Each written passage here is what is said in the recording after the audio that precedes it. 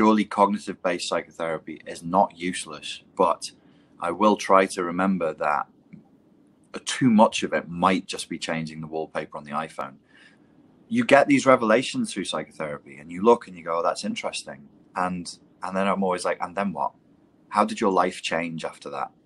For most people, most of the time, it doesn't. It might be interesting to know how your mother wounded your ability to ask for what you want. It might be interesting to know that because your father was a jealous narcissist, he didn't want you to rise too high and all that. It's interesting to know, to have that in your head, but so what? Right, right. And I was talking to someone the other day who is who's really smart, but a lot of the things that are said are just knowing. And yeah. then and then what? Where's the action? Where's this? In that sense, is like a kid who's growing up and they find a toy and the toy is so cool and it's so amazing and it's so life changing, but it's not as life changing as they think.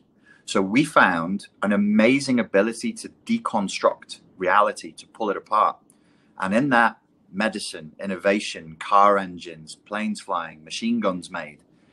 Um, and so we started to overstate the importance of cognition, of, of the cerebral mind. Mm-hmm. And we're living with the consequences of that. We're living with this, this weird, when we're almost trying to be brains in a jar just floating. Like, who's the best brain?